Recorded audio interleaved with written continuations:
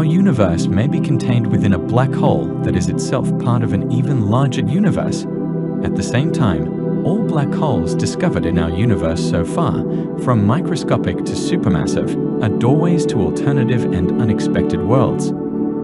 According to a new theory, black holes are actually tunnels, like wormholes or wormholes, between universes.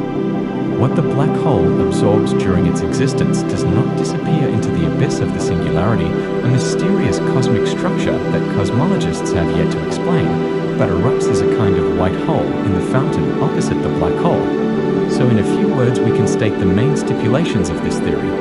In an article published in Physics Letters B, physicist Nikodem Poplawski of Indiana University outlines a new mathematical model of the spiral motion of matter falling into a black hole. His equations show that such channels are an alternative to the spacetime features predicted by Albert Einstein at the center of a black hole.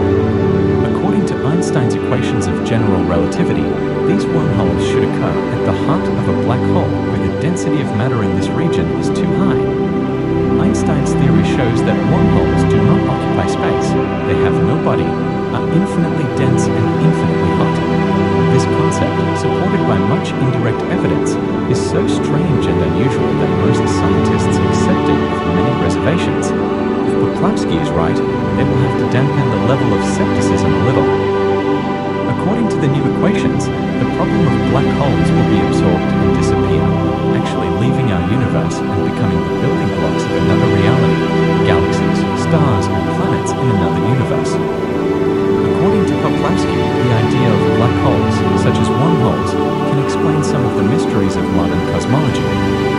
example, the Big Bang Theory suggests that the universe began at a singularity.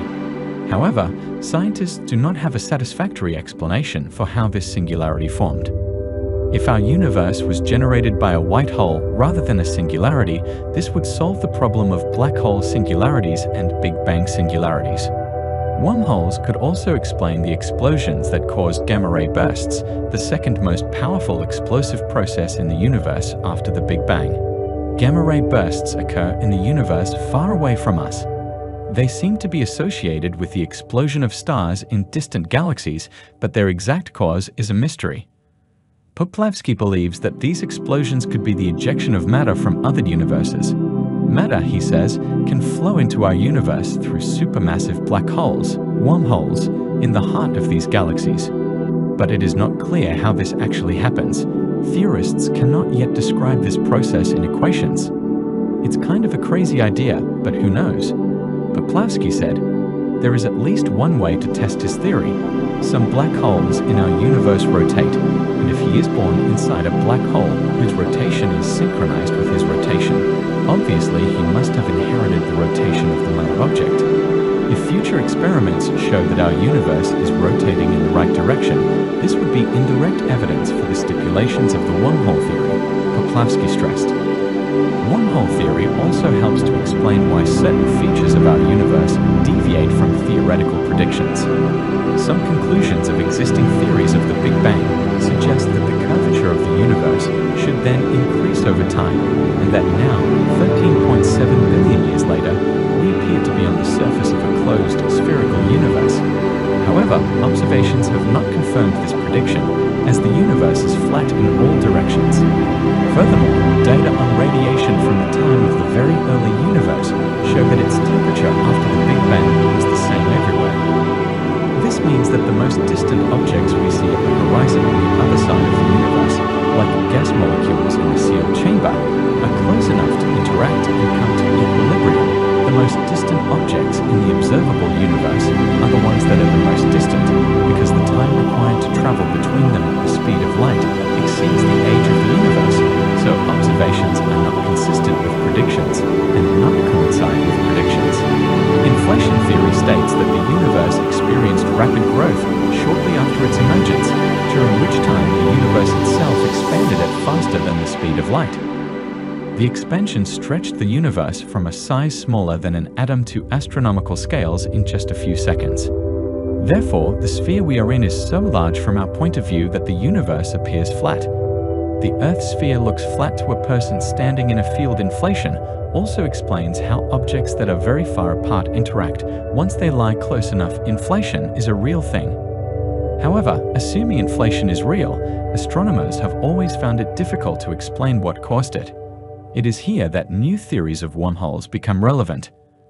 According to Poplawski, some theories of inflation predict that it was caused by exotic matter, a theoretical entity that differs from ordinary matter, particularly in that gravity repels it rather than attracting it.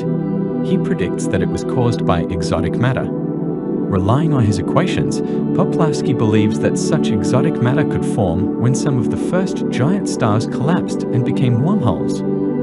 There may be some connection between the exotic material forming the wormhole and another exotic material that caused the inflation, he noted.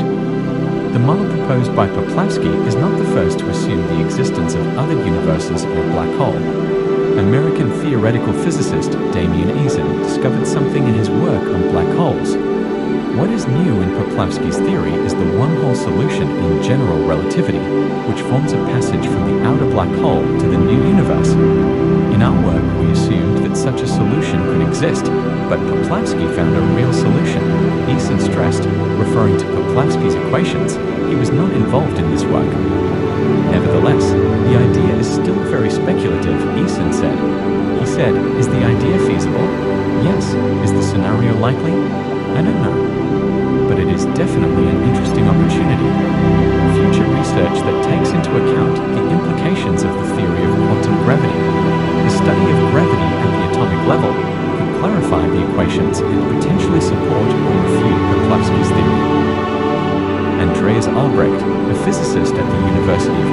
who was not even involved in the new study, said, In general, the wormhole theory is interesting, but it is not groundbreaking in explaining the origin of our universe.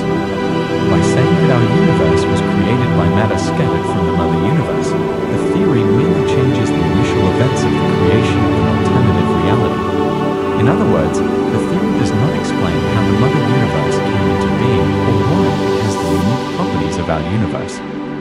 It is unclear which of the pressing problems we are trying to solve really exist and which are making real progress, notes Albrecht.